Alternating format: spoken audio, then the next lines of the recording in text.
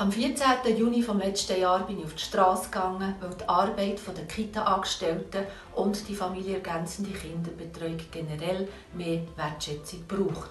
Die Angestellten der Kita leisten viel und verdienen bessere Arbeitsbedingungen oder ganz konkret einen anständigen Lohn.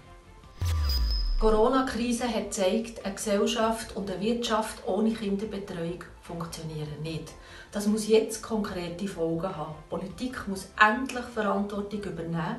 Es braucht mehr Gelder von der öffentlichen Hand, bessere Arbeitsbedingungen für Kita-Angestellte, zum mit einem Gesamtarbeitsvertrag und tiefere Elternbeiträge zur Entlastung der Familie. Kitas sind wichtige Player in der frühkindlichen Bildung, Betreuung und Erziehung. Das Potenzial wird in der Schweiz leider immer noch verkannt. Es braucht ausgebildetes Personal für Kinderbetreuung und einen wesentlich besseren Betreuungsschlüssel.